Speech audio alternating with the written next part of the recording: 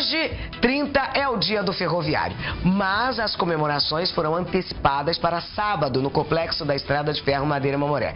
A SIC TV estava lá e a Andrea Fortini mostra pra gente como é que foi.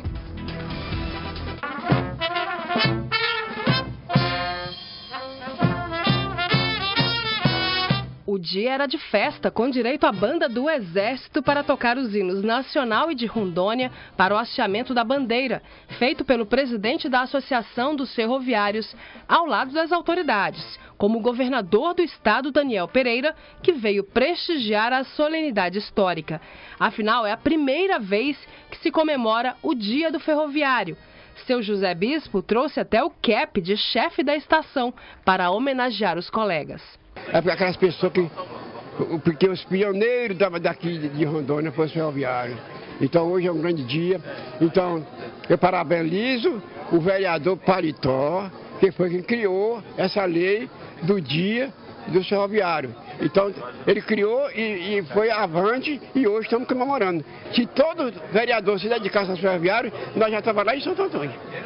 Mas ele, só ele, coitado, é quem está nos ajudando, nos abraçando, se dedicando. Uma homenagem mais do que justa, né, dessas pessoas cujos familiares vieram aí de mais de 50 países diferentes, né, para vir para cá, para arriscar as próprias vidas, né, porque tem gente que acha que hoje é difícil. Difícil é quando eles vieram e construíram o, o impossível aqui. Então, uma homenagem é, mais do que justa e merecida. A lei municipal reconhece também a Associação dos Ferroviários. Mas é uma lei municipal que abrange a todos os ferroviários, até outros personagens que fizeram parte de uma instituição ferroviária em vários lugares do Brasil.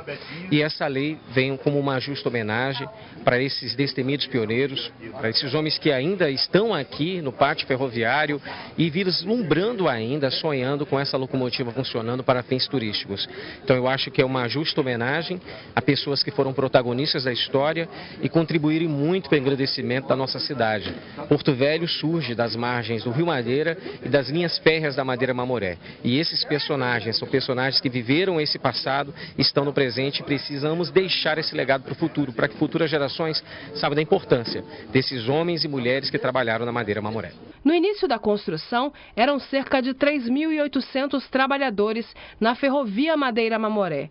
Hoje, apenas 30 continuam vivos, a maioria com idade avançada.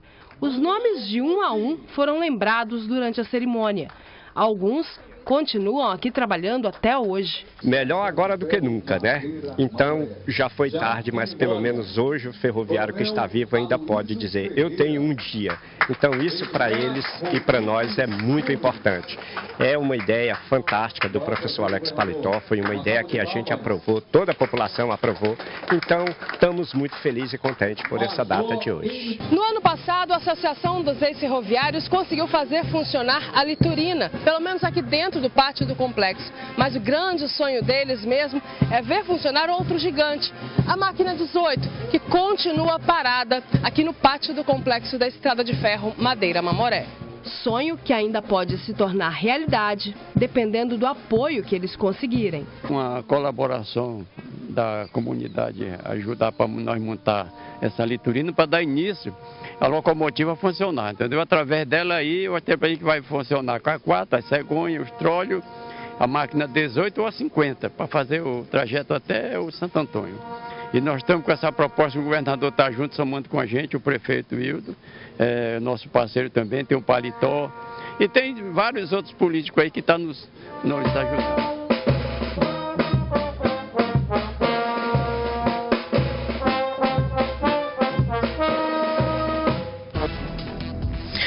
Eles ficam com toda razão muito felizes com essa homenagem, né? E agora eles têm o dia deles.